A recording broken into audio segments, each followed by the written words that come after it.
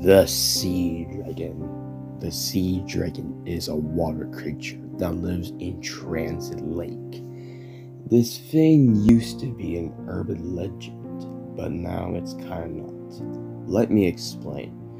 So, back then, a group of three people went to go out on Transit Lake for a boat ride late one night and felt like they were not alone.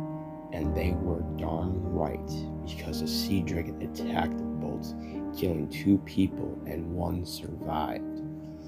But then later on, more sea dragons begin to appear out of nowhere, and that's where the population of this begins. No one knows where it was or where it came from, but what they know is that they keep seeing these Transit Lake. But the weird thing is, most of these guys have been dying lately and almost losing the population out of nowhere. It just went from lot of, those until they're commonly extinct. But how? Well, by Tyrannodomius. Tyrannodomius eat these guys for his diet. Yeah, we. I'm still don't know why Tyrannodomius eats sea dragons, but that's not my business.